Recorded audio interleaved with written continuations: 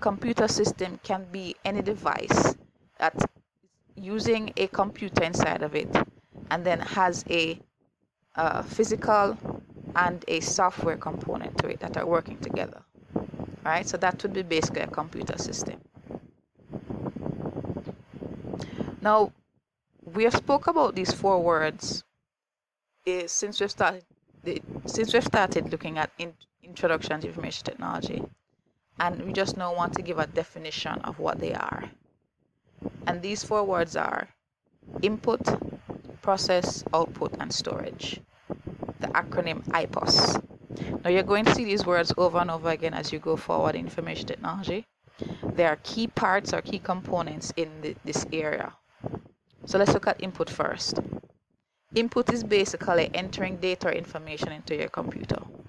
So when you put in data um, into your computer system, whether it's by pressing some pressing something using the mouse or pressing something using a touchscreen on a phone or typing in a letter, that's basically input. You're putting in or entering something into your computer system. Then we have processing.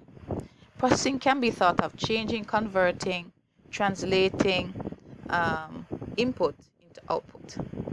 So, for example, when you're using a keyboard to type something up on your computer system, when you press that key on the keyboard, right, that would be considered input.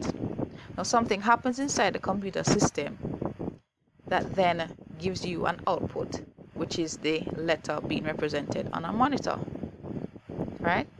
So then now we go into what is output. And as we just said, output is basically giving a result from your input. So it can be as simple as pressing a key on a keyboard.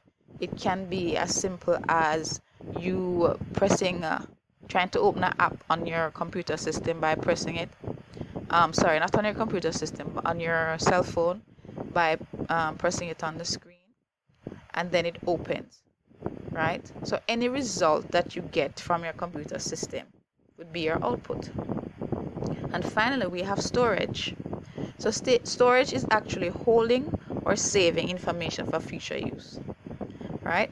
Now, storage, as we go further, is not just the act of you saving something, but storage is also the computer going and getting something for you to use, right?